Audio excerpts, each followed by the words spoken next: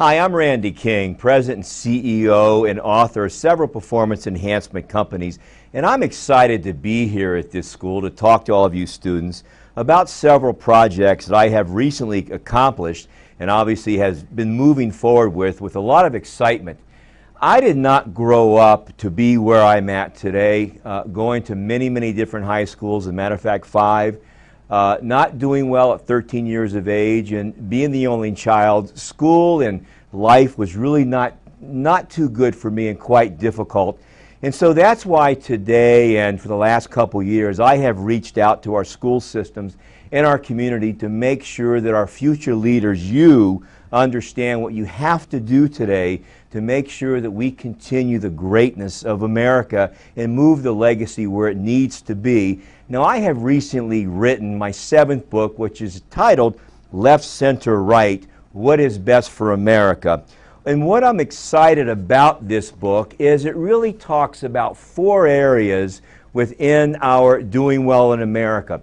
I am committed to help our young people, as I have, to do well in any economic uh, times that we are into because it really depends on your attitude and your commitment to, to excellence. But there are four areas this book does cover when you do uh, read through the book. First and foremost, it covers our personal and professional success. Without building our foundation and understanding where we're going to go in life, it doesn't happen as easily as it can if you have those two areas developed and also put in place.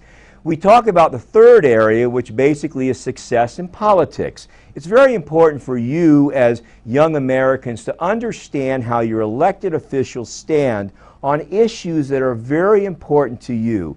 Don't get caught up in the Republican, Democratic, or independent system.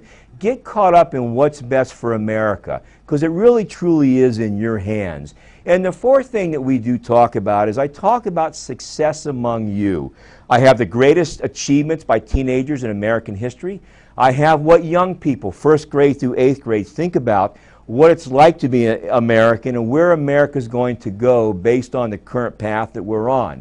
So it all does start with you. I hope you'll enjoy my book, but let me read you 10 things that I do have within my book that I think will hit home as they have to me. First of all, as we talked about, you are the future. 10 things that you can do to do well, not only in America, but also in your current school system. Number one, be all that you can be at what it is that you do. I didn't think that I would be where I'm at today, and whatever it is that I do, I give it 110%. I don't quit. A lot of my friends have not been successful because they have a tendency not to stay with one thing and have what I call true stickativity. All tough things are, are, are tough and then they become easy. That's what success is about. Number two, work hard on yourself so you can help others. What I enjoy about my life is I've had the ability to not only have success, but also pass that success on to others. And that's going to be your job because the greatest gift that I have been able to bestow on people is a gift of helping them achieve, whether it's personally or professionally. Number three, dream big. If you don't, you never know. I have school teachers that have told me that I would never amount to anything.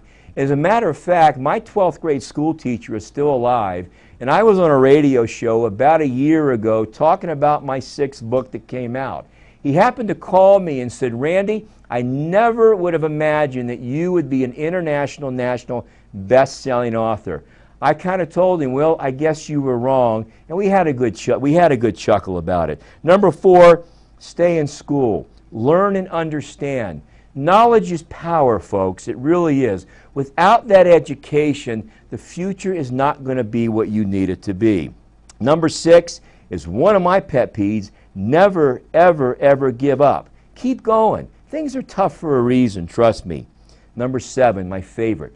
If you can ever remember anything that I've taught you, remember your three C's. They will serve you well in your personal life and your professional life. And they are character, communication, and a commitment to excellence. Do all that you can do at every time of the day. When you're in school, why not get A's? Why settle for C's? Why settle for B's? Why not get A's?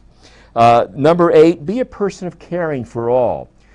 There are a lot of people out there that are really looking for you to show up and tell them sometimes that you really care about how they feel and listen to people sometimes. Sometimes we get so caught up in our own stuff that we can't slow down enough to listen to other people, what they're saying to us, because we could possibly save somebody when they're in trouble. Number nine, love and respect your parents. Those that teach you and those that are around you are trying to give you a message. Everybody can teach you something if you just settle down and listen to what they have to say, and then you can have the knowledge to be able to determine if you like it or not like it. That's the wonderful thing about America, to be able to think for yourself. And finally, put God in your life.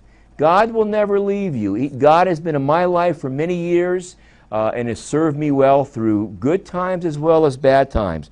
But always remember, you are special. And we're waiting for you to show up because some of you one day will be sitting here behind the camera and talking about your seventh best selling book. God bless America and go out and get them. Thank you.